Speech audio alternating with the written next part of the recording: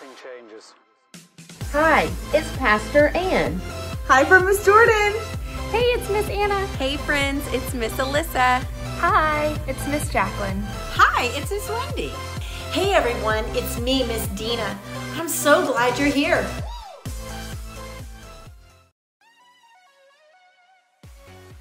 Hey you guys, it's Miss Jordan. Welcome to RPC Kids Online. I'm actually at the park today.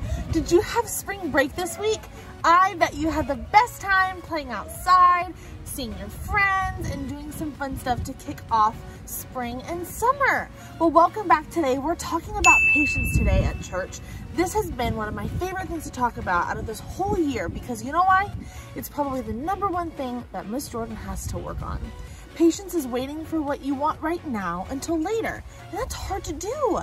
You know, like, for example, when you really, really want a chocolate chip cookie, and no matter what, no matter how hard you want it, you have to make the dough first, or somebody does, then it has to go in the oven, you have to bake it, and you have to wait. You have to be patient. Or maybe, oh, man, I bet this has happened to you. You're doing something on a computer and it's taking forever to load and it just seems so frustrating and all you want it to do is be ready right now, but it's not. You gotta practice patience in those moments too. So today we're gonna learn a story about a guy named Esau and he was not very patient and there was a consequence for that. So let's take a look at our Bible story and I'll see you back for worship.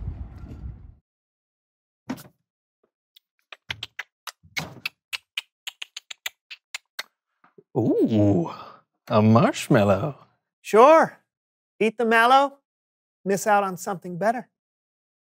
What do you mean? If you wait and don't eat that mallow until I return, then you will receive something even better than a mere measly mallow. Better than a marshmallow?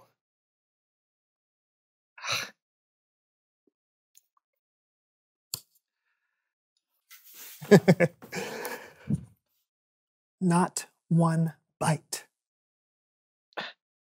Okay. Come on.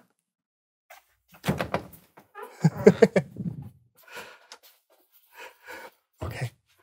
I don't think he can wait and resist eating that marshmallow, but if he can, I'm going to give him an entire bag of marshmallows. All right, here we go. Count to 10. One, two.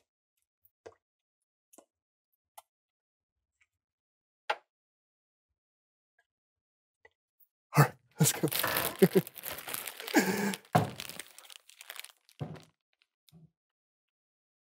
Where's the desk? Did you eat the desk? Um, uh, uh, You ate the desk! I didn't eat the marshmallow. Oh, All right. oh.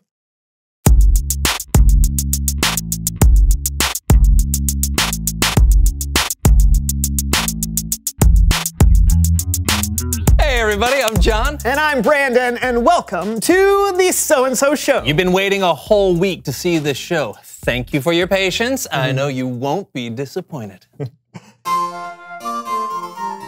somebody say manners? Uh, no. I Melinda Manners, and I can always tell when my help is needed. I can sense when someone is being mannerly. and when someone is not. Oh, Oh, yeah, all right. Sorry. chair. Weren't expecting. So, my dear boys, what seems to be the problem today? Uh, no, no problem. We're just trying to get the show rolling. Patience, my dear boys, patience. It's one of the most important manners. I wrote an entire symphony on patience once. Oh, is that right? Let, let's.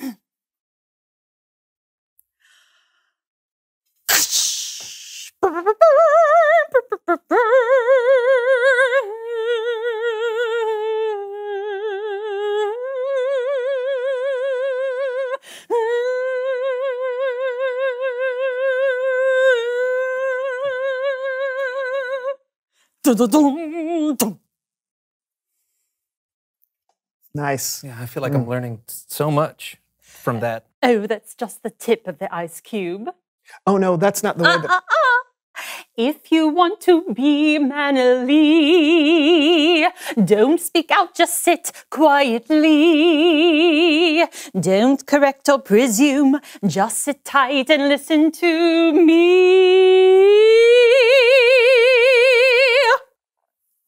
Now, I meant what I said about sitting tight. Shoulders back, boys. It is unmannerly to slouch. Better? So, uh, Melinda, now that you're here, what do you like to do for fun? Oh, so many things. There's nothing unmannerly about having fun, after all. I keep my favorite things with me at all times. Let's see. Oh, yes, yes. Hold this, please. Yes, yes, yes. Okay. Oh. A ball for baskets.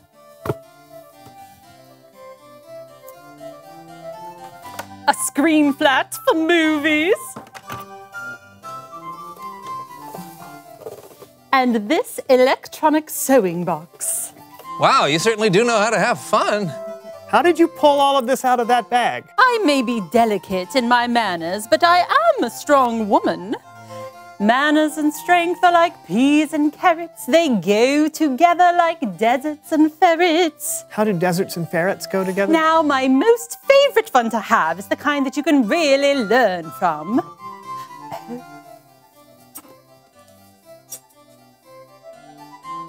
Ooh.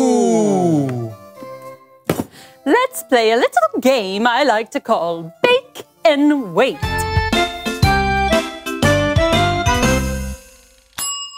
Our preparations are complete. Now we simply need to insert the pan into the oven.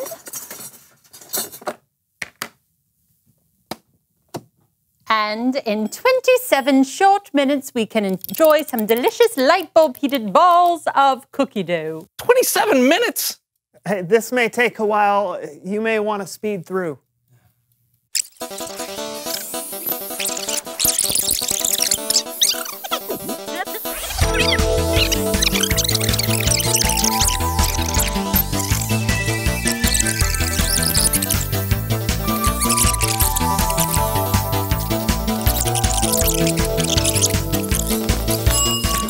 Finally. Let's eat. Now the cookies have to sit in the cooling chamber for five minutes. Oh, no, thank you. Mmm. Mmm. Oh. Wow.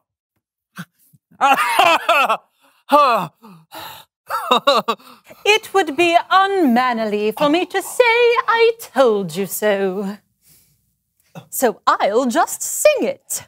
Being patient is always right, but you didn't listen, for you're not so bright. It's Bible story time with Kellen.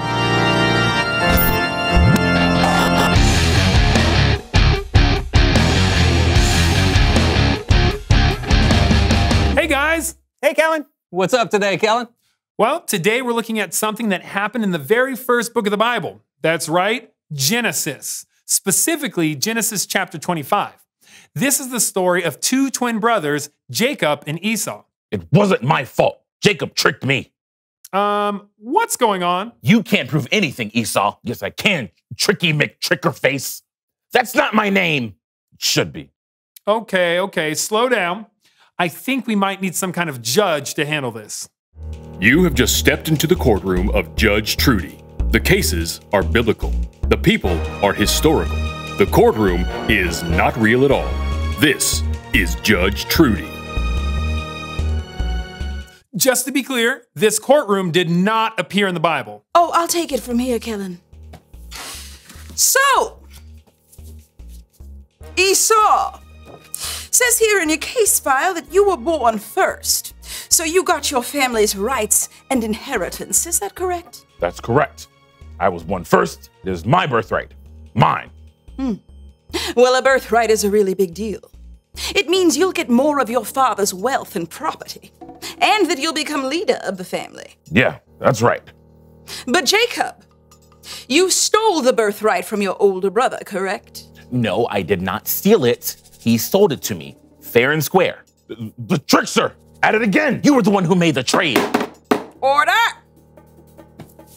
I need to know the real story. Bailiff, roll the security footage. Jacob, quick! I'm insanely hungry. Feed me some of that stew. Sure, but first you have to sell me your birthright. Look, I'm dying of hunger. What good are those rights to me now? Promise me. Promise me you'll sell me your rights. Fine. I can't wait any longer. I promise to give you my birthright.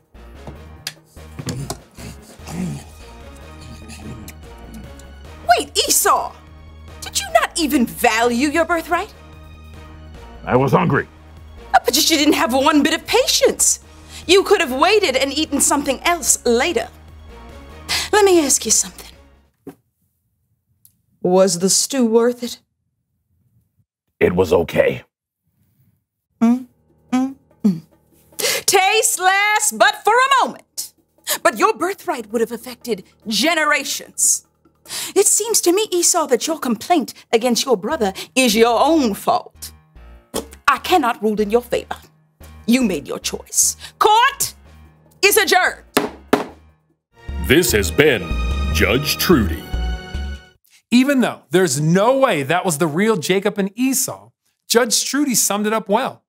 Esau did not value his rights as the firstborn son. Being impatient made him sell something that was worth more than we can imagine for the price of one little bowl of stew. Bummer. Seriously. You know, being impatient can actually cost you. Totally. When we're not patient, we rush in without thinking about the consequences. Oh, I know. I bent my tongue. Oh, I'm so sorry. Yeah, me too. I think we can avoid a lot of problems if we just pause and think before we act. There's a lot we can miss out on when we're not willing to wait. It's good to hear. Thanks, Kellen. Yeah, thanks. You got it. I'll see you guys next time. I think of the end of that today. Put that away, please. Sorry. Reveal the question. What could you miss out on by not waiting? Yeah, like when you eat snacks before dinner and then you're not hungry and it turns out to be your favorite meal. Uh, that's a bummer. Yeah, or you can miss out on spending time with your friends who are running late because you didn't want to wait for them. Or maybe something even more drastic, like an Esau's case. Mhm. Talk about it together, and we'll see you next time. I'm John. And I'm Brandon, and this was The the So and So Show. Pretty crazy, right? It's hard to believe that Esau traded away his rights as the oldest son all for a meal. A meal that was only going to last a really short time. He gave up something that was forever, at least while we're here on Earth. That's a pretty impatient decision that he made. Let us learn from this, right? So that we can take moments where we want to be impatient and really think about what it's going to cost us. Because being impatient right now could really cost us later. Esau taught us that. Hey, I wanted to sing worship with you guys. We have a fun song to sing today, and then we're going to come back for our memory verse. So stand up, get your groove on. Let me see you dance. Here we go.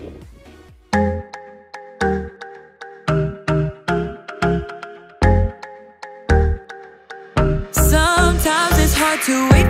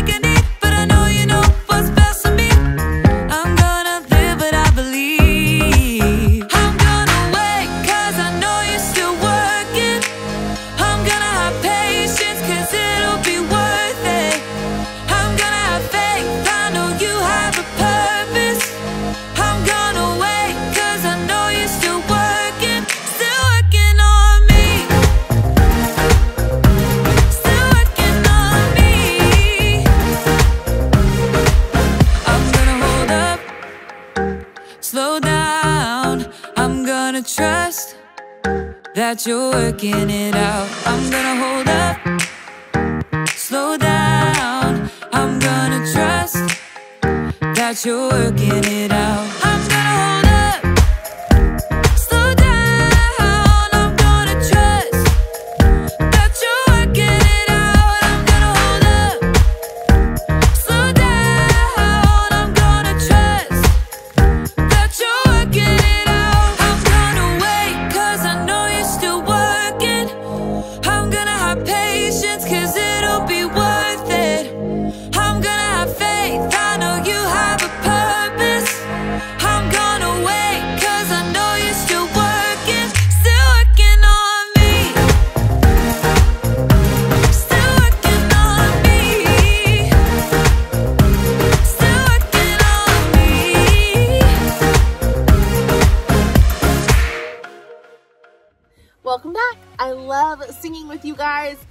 You, but worship is one of my favorite parts of service. I love that we can talk to God by praying, by spending time in His Word, by just having conversations, just like you and I are talking right now. And we can talk to God by worshiping, by singing. And I love that way of talking to God. I have some exciting news. Next weekend, we have a baptism here on our campus. And this baptism is really special because it's the weekend before Easter. It's a Palm Sunday baptism. We're going to be learning all about Palm Sunday next week, but here's what I want you to know. Baptism is a step of obedience in our faith when we have decided to follow Jesus. So when you have made the decision to believe that Jesus died on the cross to pay the price for your bad choices and my bad choices, something that we could not do on our own, so that we can spend forever in heaven with Him. You believe that? You say it and you tell God that you believe that. The next step is to become baptized. When you believe that, you're a Christian, right? Baptism doesn't make us a Christian. Baptism isn't what gets us to heaven. It's a step of obedience to show our family, our friends, our church, everyone around us to say, we believe that Jesus is our Savior, that He died for you and me, and that because of Him, to go to heaven to have a relationship with Him forever. So when you believe that, that next step is baptism. So here's what your next step can be if this sounds like something that you're ready to do. You can tell the grown up in your house that you want to learn more about baptism or that you want to sign up for baptism at RPC. And then you can visit rpc.me slash baptism for more information about what to do to get signed up. You can also send me an email, jordanw at rpc.me. So there's a few ways for us to help you get in touch so that you can be a part of next weekend's baptism if you are ready to take that next step. I had so much fun with you guys today, but before I leave, we have one more week next week to talk about this memory verse. It's from the book of Psalm, and here's how it goes. Wait for the Lord, be strong, and don't lose hope. Wait for the Lord. Psalm 27, verse 14. Now say it with me, okay? Here it is on the screen. Wait for the Lord, be strong, and don't lose hope. Wait for the Lord. Psalm 27, 14. Awesome. Hey, let's close out in prayer today. I hope you got to spend some time at a park. It is so beautiful outside today. And I had so much fun with you guys at church online. Let's fold our hands and bow our heads. Dear God, thank you so much for giving us the Bible, this amazing true book with so many stories to help us learn how to live our lives and practice things like patience. So God, help us this week to see opportunities for us to be patient and to act on it. We love you, God. Amen. All right, I will see you guys next week for Palm Sunday. That means Easter's almost here. Again, I hope you had an amazing spring break week, and I will see you very soon. Bye!